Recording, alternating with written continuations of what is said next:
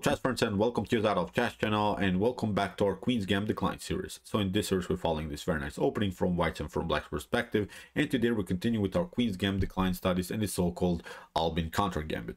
The Albin Counter Gambit we have started recently. First we have seen some beautiful traps that are possible but recently we have started the series how to beat uh, the Albin Counter Gambit because in my opinion still the Albin Counter Gambit is something that you should try to avoid uh, because many times we have seen even some better defenses like the Tarrasch defense. You can also play the Ragozin. You can play many, many beautiful defenses against d4. In my opinion, as I said, the Albin counter gambit you should not play. So that's why in the continuation of our series, we'll see now um, the only way how to beat um, uh, the Albin counter gambit because there are many, many beautiful ways. And there are, of course, many responses for black. So that's why we want to cover every of them. And then we have, I think, again, decent preparation against these types of structures. So let's see now a uh, new variation. Many times your opponent will go into the so-called Balogh variation. The Balogh variation is a move queen to e7. Uh, then uh, your opponent is trying to recapture the pawn on e5 uh, by playing with the move queen to e7. There are many, many great things and there are many good ideas for black, but still I think uh, this is the passive move. The problem about the move queen to e7 is that uh, the queen is taking the natural square for the bishop. So as I said, I will explain you what's all about, what are the good parts about the Balogh variation, but also what is the problem then for black and how white should counterplay these types of ideas. So let's check out now what is the Balogh variation of the Albin counter gambit. So we have here d4, uh, d5. Uh, we have studied many uh, important lines so far. So please, if you're interested more into the Albin counter gambit, please check out our series from from the beginning, part one, part two, and so on, in order to get a better understanding what's going on now also in this video. So after move c4, your opponent can play, of course, the Albin counter gambit with the move e5. So we have d takes e5, we have now the normal move d4. Your opponent is trying this expansion on your side of the board, is trying to fix the pawn structure around the squares d4. We'll try knight to c6, bishop to uh, c5 maybe, to rely simply on his active pawn here on d4 and uh, is trying to get more spaces in the center. So also what black is, of course, trying is then to, with queen to e7 or similar similar stuff or maybe with knight to c6 knight to e7 knight to g6 also to recapture your space advantage by simply taking the pawn on e5 so my recommendation is still to go with the normal knight to f3 we have knight to c6 and now again i'm suggesting you to play the so-called alapin variation of the albin counter gambit we have studied um, the alapin variation yesterday as a good method to beat the albin counter gambit now your opponent can go after this move into the so-called balogh variation with the move queen to to e7. And as I said, this is a normal idea, nothing wrong with this move because your opponent is trying to recapture the pawn, knight to e5, knight to e5, queen to e5 and similar stuff. And he's trying many times, don't forget about this, uh, he's trying many times to play somewhere with the bishop, bishop to g4, bishop to f5, bishop to e6, doesn't matter but he's trying many times to castle queenside. Don't forget about this because he has here a lack of development. It's very hard for black to develop these minor pieces. You see knight to h6 maybe can be met with bishop takes h6, messing up the pawn structure. Even if black tries to develop with uh, uh, g6 and bishop to g7, then also in some occasions bishop to g5 uh, could be dangerous. So black could face many, many dark square problems. So that's why many, many, in many occasions, black will simply castle queenside, not kingside. So that's why this move queen to e7 is a preparation, of course, to take the pawn, but also it's a preparation to castle queenside in a fast way. So that's why you have to be careful. You know, have to know what you're doing here. So that's why g3. We're playing normal development. We don't rush into things because even if your opponent takes now, knight takes e5, it doesn't matter. It leads now into a simplified line that favors white. I think knight to e5 is something that black doesn't want to get, although it's probably even the suggested line by top engines. But this is perfectly fine for white because because we can play knight to e5, knight to e5, and now knight to f3 wins the pawn. Uh, whatever you do, queen to c5, queen to d4, and we have now simplified game. We're going into an endgame, and this is perfectly fine. We, we don't have worries, I think. Even if your opponent tries something like, I don't know, queen to a4, uh, a5, attacking um, uh, the king, bishop to d2 solves again all of our positional problems. Bishop to b4, we can take the pawn, doesn't matter. And now after normal development, we can play even knight to b3, really force finally uh, trades of bishop. So here bishop to d2, queen to d2, queen to d2, maybe knight to d2, and you can be the judge of this position. White is up a pawn and has now, I think, uh, winning position. So that's why uh, this simplification idea of the Balogh variation um, is not working. So it's uh, the main goal but actually your main goal becomes your main problem because the game becomes more and more simplified and that's something that you don't want to get. So uh, here in the continuation after move uh, queen to e7 and g3 uh, many times you see this line bishop to g4 and this is um, preparation to play knight to e5 uh, after knight to e5 queen to e5 and then d3 because there are many many uh, attacking opportunities here on this diagonal. The queen is a little bit pinned so many times you see also d3 queenside castling and then d3 as the main attacking goal. But also one different goal that black has an, uh, as an attack here is h5 h4 because with the move g3 you play the fianchetto you already slightly have weakened your pawn structure. We have to say that now with h5, h4, your opponent is trying to create further mess after you castle, maybe bishop to uh, g to kingside castling, and then black is trying many times uh, to launch a flank attack. So you should not be surprised by this. So uh, as I said, d3 and h4, h5 are now main attacking themes here for black. But still don't worry. You're still better here. If you know what you're doing black doesn't gain anything. So here after move bishop to g4 you just play a calm game bishop to g2 king queenside castling can be of course the move. And now we can still kingside castling so here knight to e5 we can simply take knight to e5 and after um, queen to e5 we can notice now okay your opponent has finally grabbed the pawn. And your opponent is relying on his uh, pawn on d4 and seems so that black has solved now all of the position problems. But it's exactly what is not true because uh, here after move queen to b3 uh, now we're on the attacking side and we can now attack the b7 weakness. And it's really really hard uh, for um, for black to defend its position. In this particular position i found really a beautiful gameplay by uh, uh, Bai Yingji against Li Hanbin. So Bai Yingji uh, now these days he's a grandmaster in chess. Back when he played the game, he was a FIDE master. So, but still, really, really instructive game because here Bai Yingji didn't play any inaccuracies, mistakes, or blunders. His game was almost perfect here. So this is really a cornerstone game that you can use in order to beat uh, the Balogh variation of the uh, of the Albin counter gambit. Here after move queen to b3. Okay, we are a little bit here weak around the square e2, but this is now the clear target that forces now this move c6 and that's exactly what we want to get. We want to create at least some kind of a weakness structural weakness in front of black king now with the move c6 you notice now that bishop to f4 will be very very dangerous will cut off uh, here the potential king's uh, king's activity to escape here on b8 and then on a8 so that's why here um Bai Yingji played a beautiful move. Uh, we have um, uh, knight to uh, f3 we have queen to c5 uh, here we have rook to d1 continue the pressure around the square d4 and now bishop to e6 and it seems so that black has defended this position that this is perfectly fine because uh, now the c4 is uh, hanging here. But here uh, Bai Yingji played i think a beautiful move bishop to f4 slow down the, the pace of black's attack because whatever you do even if you try i don't know bishop to c4 we can play queen to a4 now you could try maybe a6 to prevent this a bishop uh, queen to a7 ideas. But now with rook to c1 look at this beautiful attacking formation. Now uh, black will lose uh, probably the battle uh, here on the uh, on the file also in many occasions bishop to h3 is also very very dangerous. For instance if you try queen to c4 here then we can play queen to c4 bishop to c4 knight to d4 and even if you try i don't know something like uh, uh, c5 then look at this bishop to h3 really really amazing stuff. These bishops are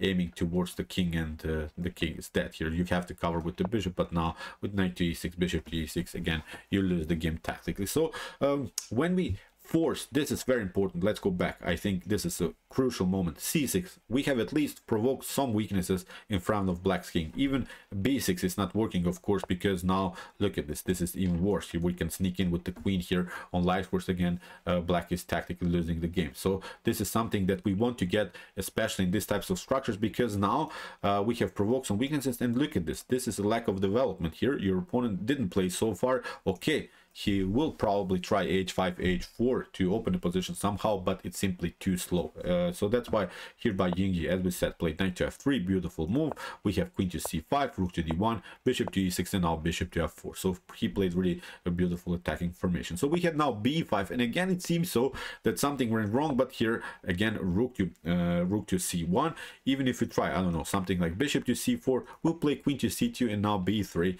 again opens the c file look how naked uh, black's king is. Again bishop to h3 is an opportunity. So many many dirty ideas uh, are here possible for white. Of course we i cannot just sh show you what happens if that happens but here i think we can agree that white is dominating the position. So uh, here after move rook from a to c1 uh, Bai Yingji's opponent tried f6 uh, here we have um, queen to c2 we have now b takes c4 finally but now the queen comes very active into the game. We have queen to uh, b4 and you see now the a7 is weak. So again with the support of the bishop we're threatening even checkmate. We had queen to b7 queen takes b7 and now knight to d4 uh, in this position black resign. Because even if you try bishop to d5 then you have a beautiful tactical shot here knight to c6 if you take of course first the bishop then first check on uh, on uh, on d8 and then we take out the bishop. If you take uh, here the uh, with the king then you have this one uh, rook to c4 really, really stunning tactic again.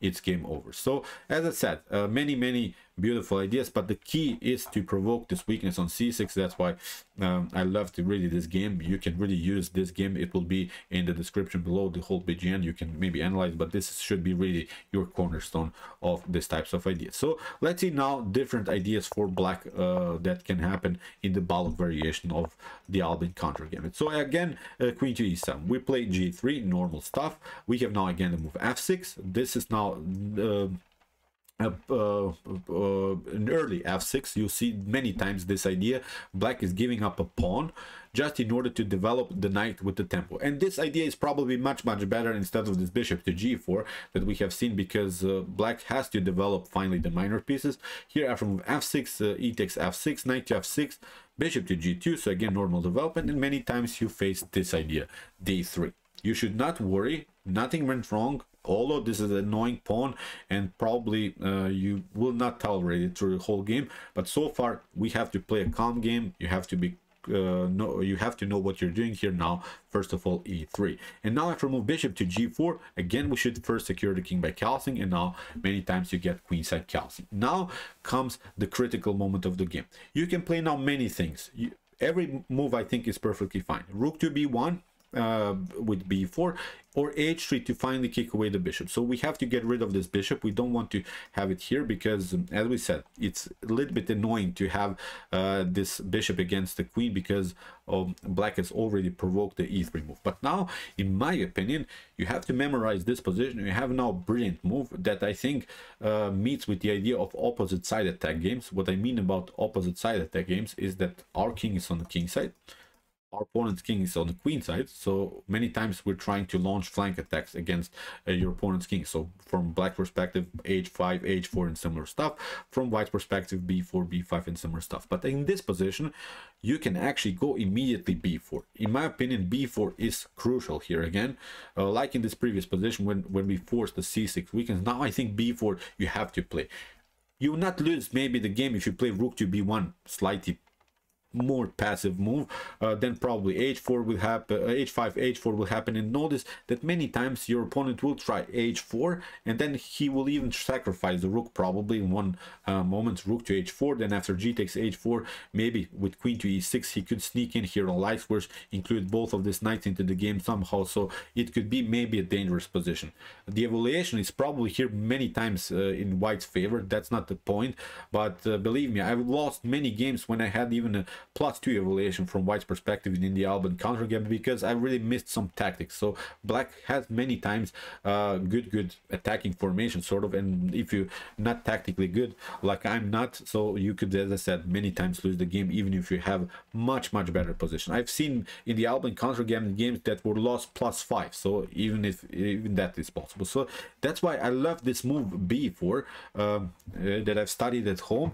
b4 is really aggressive because whatever black does does now. If he takes with the queen uh, with queen to b4 then we can play immediately rook to b1 and we're now on the attacking side. We have given up a pawn but we have now a really beautiful attack. And memorize this. This is one of the good methods i think in order to beat the Balogh your opponent can try uh, queen to a5 but now with h3 we're kicking away the bishop. Your opponent could uh, maybe try to take but now with queen to f3 look at this. We have now brilliant brilliant attacking formation. Rook to b7 is even a threat then we can take out uh, here the knight with the tempo so this is also a tactic that could work. So your opponent could take also with the knight knight to b4 and now we can also play queen to b3 and then we could have a comfortable game. Your opponent if he retreats then many times this idea is working. The most important thing in this scenario is that we get rid of this uh, very annoying pin now knight to d4 again comes with a beautiful tempo. Uh, uh now again this idea around the square b7 is the main tactical goal. So your opponent could try to battle with uh, the knight to a5 but now we can take out this annoying pawn finally on d3 and i think the game is strategically over. Even if your opponent tries c5 maybe to pin you then we have this one queen to uh, queen to a3 attacking the knight. And now again if he wants to take we can also take. This pawn is weak so again a much much better position here for white so this is uh, i think a very important moment to recognize when your opponent castles and has played already this d3 idea then b4 is perfectly fine. You can be the judge of this position. Please check it out also with some engines if you like. b4, in my opinion, really, really a great method. You have to open some files. Now uh, we're threatening immediately uh, some ideas of b5. We are threatening uh, here to play a4, a5. But notice that we are faster. That's the beauty about this move. We are faster in the attack because um, black will probably play in the future if you play slightly passive moves black will play h5 h4 will try to open the position.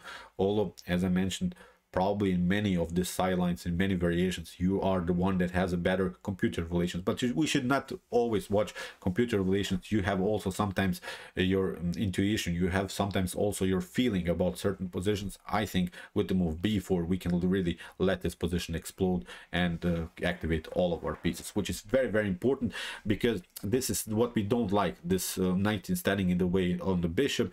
Uh, it's simply too slow sometimes to develop the dark bishop with the move b4 i think you can solve all of the position problems so let's see now a different example. Uh, queen to e7 again g again this idea f6 you'll see probably many times this idea.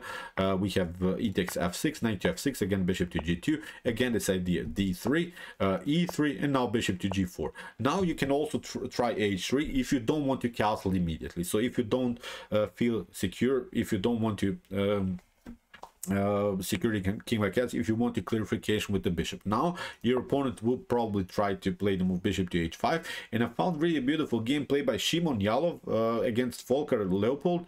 Uh, here the cool part is that the international master really destroyed the grandmaster uh, in uh, in the albin counter gambit here with the white pieces. Now we can also castle again. We have this idea kingside castle again we have to play this move b4 and i think again b4 is perfectly fine Uh, although here in this game white prepared a little bit more uh, this b4 but again with the idea uh, knight to b4 then we can play can play queen to uh, queen to b3 and similar stuff. If the queen takes again uh, then of course we have this uh, this idea to play rook to uh, rook to b1 and then to open here the b file. So that's why okay rook to b1 was played in this game but doesn't matter still white has a good good game. I wanted to show this beauty because it's really really a nice tactical game. So we have here knight to e4 we have queen to a4 again uh, trying to mess up a little bit the position here on light squares we have now knight to c5 queen to a3 and here after move knight to a6 we have again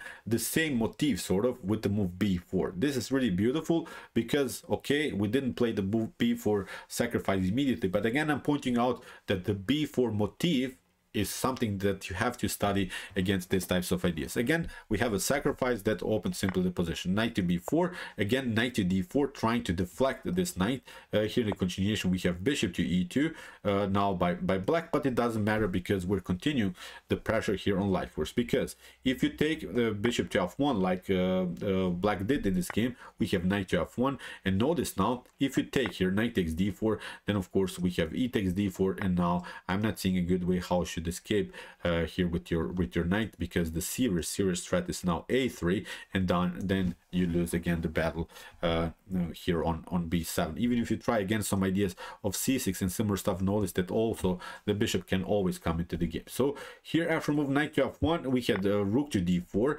so black tried to sacrifice the piece back. We have e takes d4 queen to e1 and now king to h2 getting out of this mess of uh, on the on the first rank. We're trying now uh, to include now the bishop into the game we have queen to f2 now c5 this was really really beautiful move because uh, it's cutting off the connection between the bishop and the knight.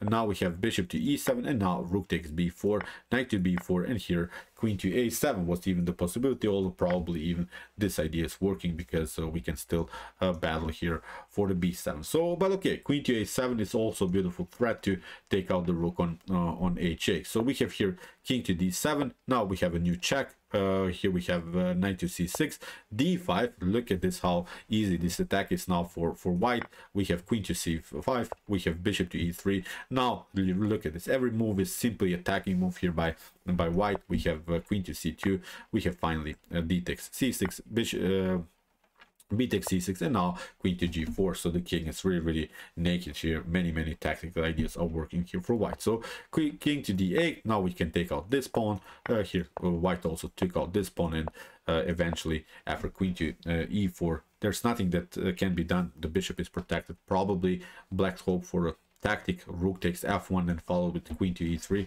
and similar ideas but this is simply not working. So here we have rook to f6 we have a knight to d2 look how uh, white is connecting these pieces. The pieces are really glued together. Every piece is protecting another piece uh, after knight to d2 rook to g6 bishop to f4 look at this uh, really nice uh, formation we're forcing now a trace of queens.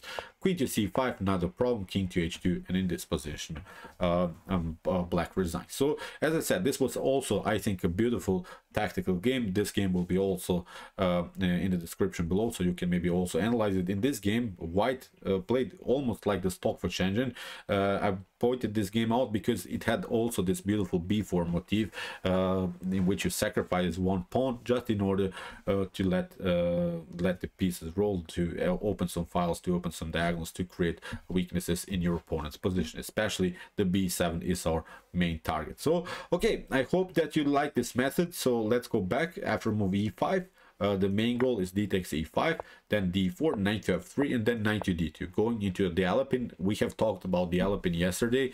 Uh, this was our method how to beat the Albin counter gambit now after move queen to e7 now we go g3 f6 doesn't matter. We simply take and then bishop to g2 uh, then afterwards uh, with e3 kingside casting and then we have seen b4 b5 was the serious threat to sacrifice just some material and open some files and open some diagonals. So this is a method. You can use it you can maybe try something else in my opinion it's simply one of the best ways to beat the Albin counter gambit. I can guarantee you, if you don't find any weapon against the Albin, you can get destroyed. I've lost, as I said, many, many games. Um, uh, even if I had maybe a plus two evaluation, even if I had better evaluations, but the computer evaluations, believe me, are not so important here. It's very important to understand what's going on and how we should counterplay Black's idea. So, okay, I hope that you enjoy the study. Uh, I think this is very, very important because you meet these ideas many, many times. If you want to see more about the Albin counter gambit, please check out our studies before. First, we have seen the Lasker trap. We have seen also mistakes by white and black that are possible. And uh, if you want to see the whole Queen's Gambit Decline series, please check out our Queen's Gambit Decline series from the beginning, where we have studied the Harrwitz attack, uh, defense, semi-Tarrasch defense, and many, many more. And if you like this content, don't forget to subscribe to my channel. See you soon with some more videos, and chess is the best, of course.